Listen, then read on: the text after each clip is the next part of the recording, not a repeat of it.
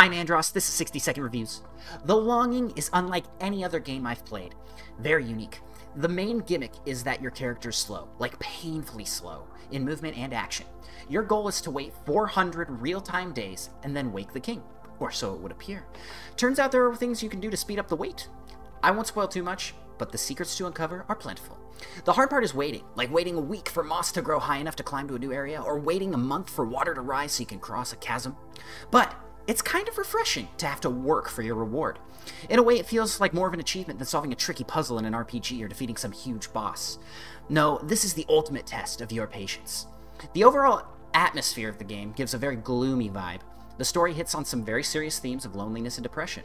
Overall, I can't say this game is for everyone, but those of us in our community that played had a blast working together to untangle this game's puzzles and story.